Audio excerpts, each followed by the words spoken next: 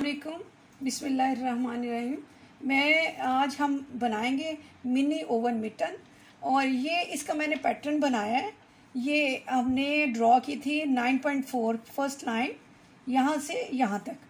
फिर उसके बाद मैंने जहाँ से गुलाई स्टार्ट करनी है, यहाँ इसके हाफ़ ले लिया, इस साइड पे भी हाफ़ ले लिया. ये 2.1 की है. और यहाँ पे हमने कटिंग करनी है. इसलिए बड़ी एहतियात के साथ ये सेंटर में तकरीबन होगी यहाँ पे, इस साइड पे हमारी फिंगर्स आएँगी और इस साइड पे हमारा थम आएगा। इसके हिसाब से मैंने फिंगर जहाँ पे स्टार्ट हो रही थी, और मिड में रखा है 4.6 के डिस्टेंस पे। 2.5 इस साइड पे 2.5 इस साइड पे। 2.7 से हमने गुलाई को शुरू करना है। यहाँ इस तरह ये एक फुट की तरह की फुट स्टेप की तरह एक हमारा पैटर्न बन जाएगा। अच्छा ये हमने ये दोनों मैंने साइड्स पे रख के इसकी लाइनिंग का कपड़ा मैंने कटिंग की है। उसके बाद मैंने फोम की भी कटिंग इसी तरह, इसी पैटर्न पे कट करके मैंने ये रखी हुई है। अब मुझे सिर्फ़ ऊपर का कपड़ा मैंने कहा आपके सामने काटा जाए। इसको लगाएँगे, मैं पिनअप करूँगी। और आप ये देखिए काट चुकी हूँ। अब ये जो इसकी वेस्टेज है ये आपने संभाल के रखनी है। ये एक और प्रोजेक्ट में ये आ, ये बनाएँगे। इसके बाद ये जो मैंने लाइन यहाँ पे मिड में ड्रॉ की हुई है ये आपके सामने इससे तकरीबन फाइव एम एम समझ लें या टू एम एम टू ये थ्री फोर एक पैर का फासला रख लें। ये इसका डिस्टेंस इतना होना चाहिए। और बड़ी मजबूती के साथ इसके साथ आपने सी देना है। Exactly exactly. अच्छा अब आप देखें, ये मैं सीने लगी हूँ।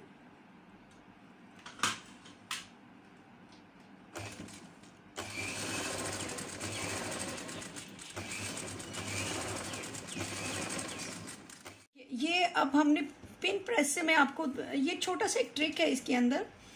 ये आपने इसको टर्न करना है। ये इस साइड पे आएगा। और इसका जो है हमारा सीधा हिस्सा, हमारा सीधा जो डिज़ाइन वाला कपड़ा, हमारा, ये मिड में आना चाहिए फोम और लाइनिंग का कपड़ा। ये मिड में आएगा, इसके बाद सेम इसी तरह हमने इसको भी करना है। बिल्कुल इस तरह। इसके ऊपर भी एक सिलाई लगा लेंगे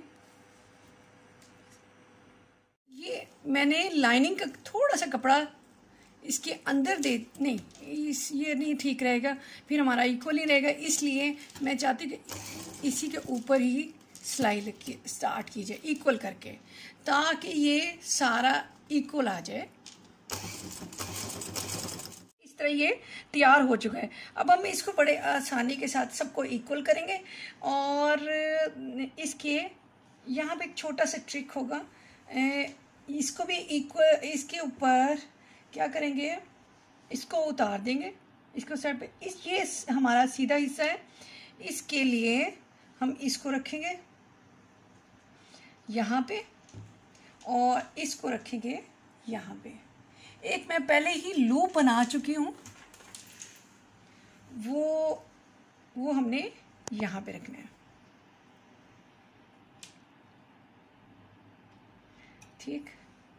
अब हम इक्वल करते हैं। सारे एरिए को सबको इक्वल करना है। दिखाना बहुत ज़रूरी समझा? क्योंकि सब चीज़ें मैं इसके साथ, इस इस हिस्से के साथ, जहाँ पे मैं, मेरा निचले हिस्से का फोम है और ऊपर का कपड़ा है, उसके साथ मैंने लगा देना है लूप लगानी है। ये भी मैं बना के इस, ये देखिए, ये इस तरह आप बना लेंगे कपड़े को जोड़ के और इसके साथ इस तरह दरमियान में फिट करेंगी आप।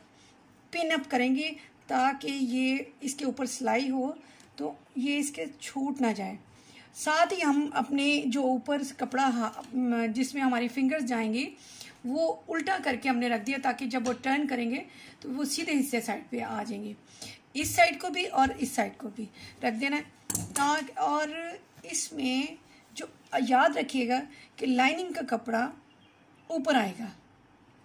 तभी तो हम जब फोल्ड करेंगे तो ये सामने आ जाएगा। ये पीछे जाएगा और बाकी सब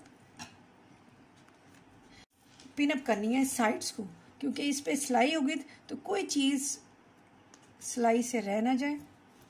ये देखिए, यहाँ से मैं सिलाई को स्टार्ट करने लगी हूँ और चारों तरफ़ से मैंने पिनअप कर लिया ताकि ये मूव ना कर सके कपड़ा। अब ये है कि अब यहाँ पे सिलाई करेंगे और थोड़ा सा एरिया यहाँ पे छोड़ देंगे ताकि ये टर्न कर, किया जा सके।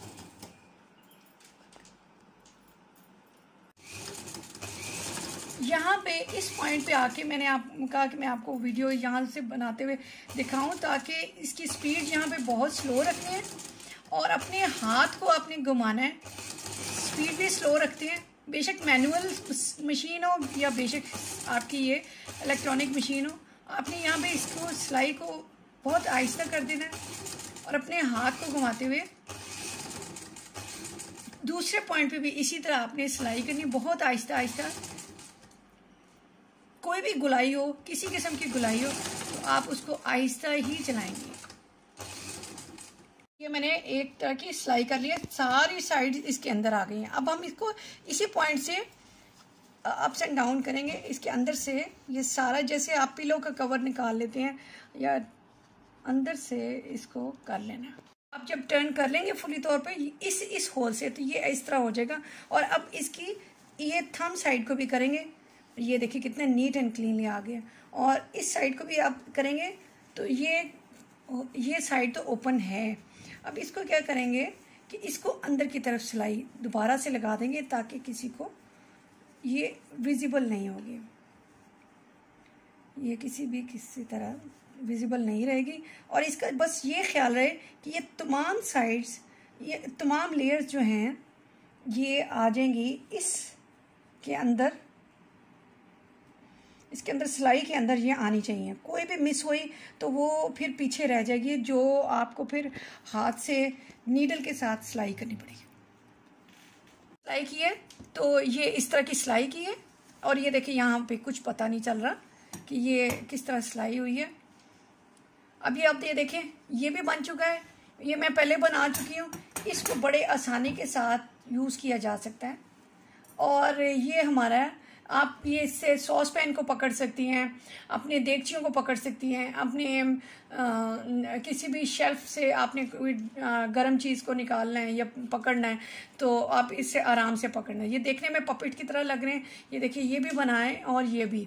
जिस तरह मर्ज़ी आप बनाएँ जो मर्ज़ी कपड़ा यूज़ करें फोम अंदर लगाइए और खूबसूरत से किस्म के ये बना सकती हैं आप और गिफ्ट भी कर सकती हैं।